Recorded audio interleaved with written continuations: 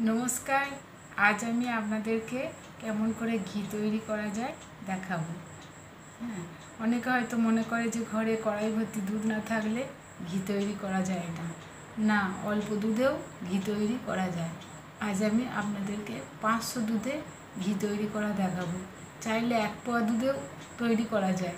হ্যাঁ কেবলমাত্র জাল দিয়ে দুধের উপরের আস্তরণটা তুলে রাখবেন। বারো দিন, পনেরো দিন পর সেটাকে মিক্সিতে বা হাতে পাক দিয়ে তৈরি করবে।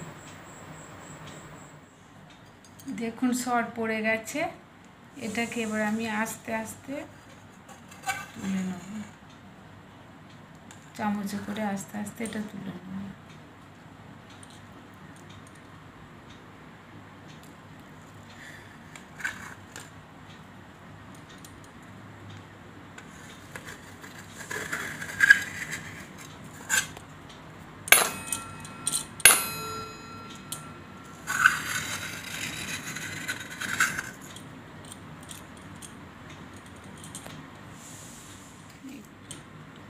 এবার এই সরটা এই তেঁতুলটা দিয়ে দেবো যাতে সরটা নষ্ট না হয়। তেঁতুলটা তেঁতুলটা একটু নিচের দিকে দিয়ে দেবো। এই সরটা দিয়ে ঢাকা দিয়ে দেবো। এতে সরটা খারাপ হবে না।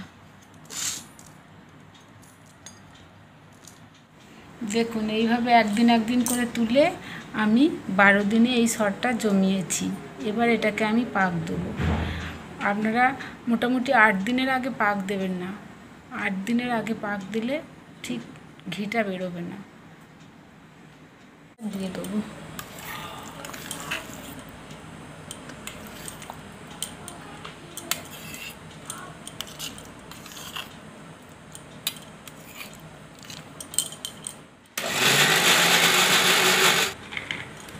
এটা আবার আমি একটা বাটিতে জল নিয়েছি আর জলটা একটু ঠান্ডা নেবে কারণ গ্রীষ্মকাল তো।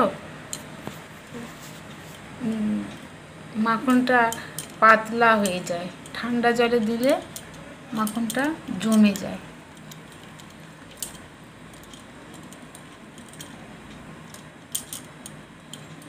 কিন্তু মনে রাখবেন, জলটা যেন ঠান্ডা হয়। ঠান্ডা না হলে গ্রীষ্মকালে জলে এই মাখনটা তোলা যায় না। জলটা ঠান্ডা হলে এই পাতলা মাখনটা জলে দিলেই জমে যায়। এতে তুলতে সুবিধা হয়। এই দেখুন, আগের মাখনটা কেমন জমে গেছে। এবার এটাকে আমি ভালো করে জলে ইয়ে করে নেব। ধুয়ে নেব জলে। দেখুন, ভালো করে মাখনটা পরিষ্কার করে নেওয়া হয়েছে জলে। এবার আমি এটাকে তুলে নেব। অন্য একটা বাটিতে।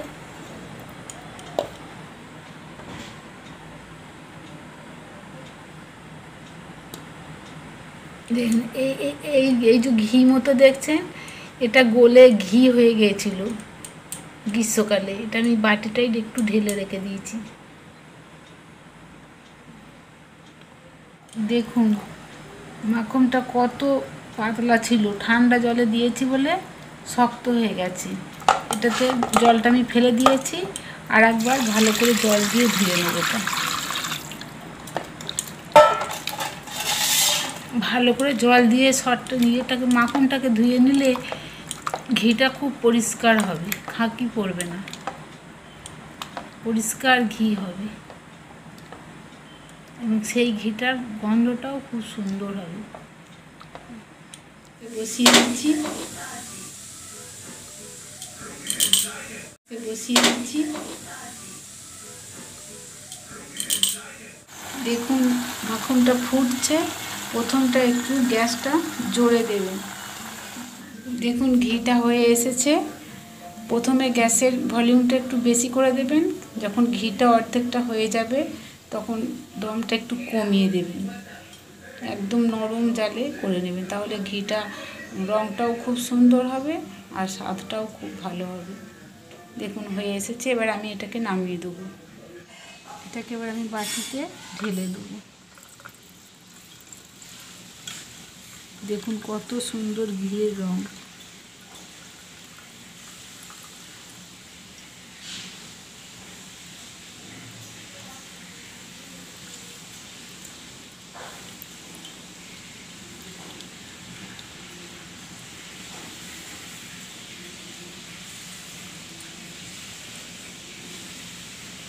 দেখুন ঘি তৈরি একেবারে কমপ্লিট হয়ে গেছে।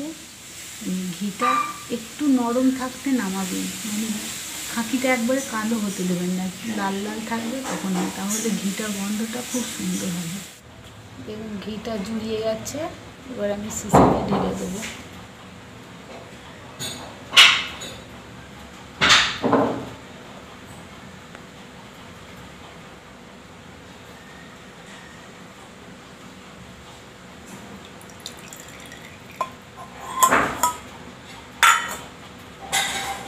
তৈরি হয়ে গেছে ঘি।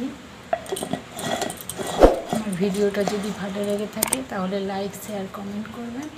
আর অবশ্যই একটা সাবস্ক্রাইব করবেন।